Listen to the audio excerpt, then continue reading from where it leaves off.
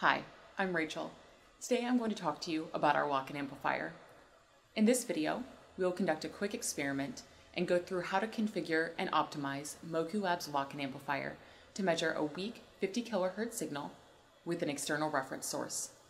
We will use two Moku Labs. The black Moku Lab will be used as a waveform generator to generate the signal and reference. The silver Moku Lab will be used as a lock-in amplifier.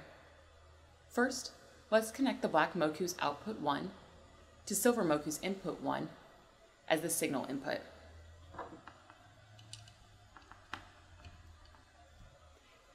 Next, let's connect black Moku's output 2 to silver Moku's input 2 as the reference input. Now that our Mokus are connected, let's grab the iPad and start configuring the instrument. First, let's connect to the black Moku and launch the waveform generator.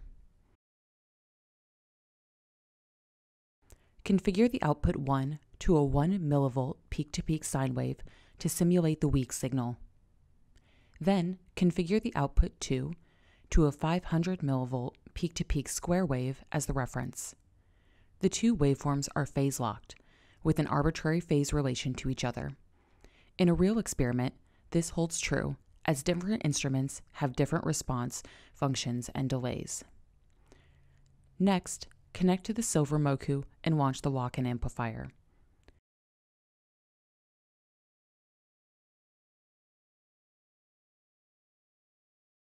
Set the local oscillator to the external PLL mode and set the auxiliary output to the filtered signal. Let's first check the phase lock loop and ensure the local oscillator is phase locked to the external reference. Lock-in amplifiers measure the signal in respect to the local oscillator. It is crucial to ensure the local oscillator is representative to the reference input. Enable the probe points before and after the phase lock loop enters 50 kHz and adjust the bandwidth until the sinusoidal local oscillator is no longer distorted.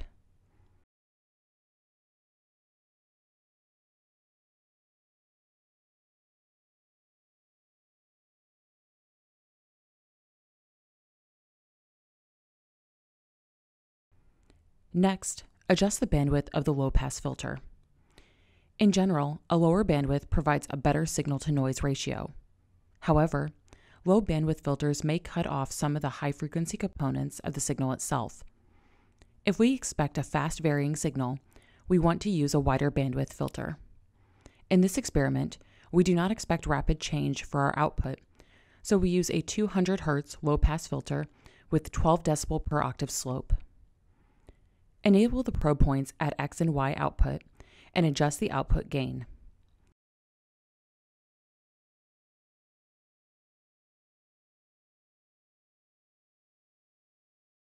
In this case, we adjust the outputs in a few hundred millivolt range.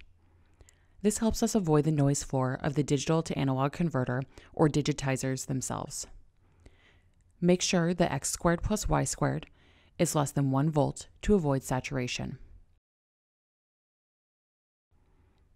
If we want to measure the absolute phase difference between the local oscillator and the signal, we need to align the phase of the local oscillator and signal with a relatively stable input. Enable the X and Y probe points. Adjust the phase lock loop's phase shift and ensure the Y value is close to zero.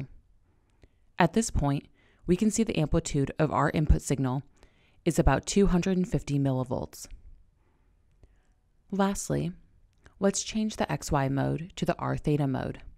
Then, adjust the rectipolar conversion range to improve measurement precision. The minimal range without saturation provides the best result.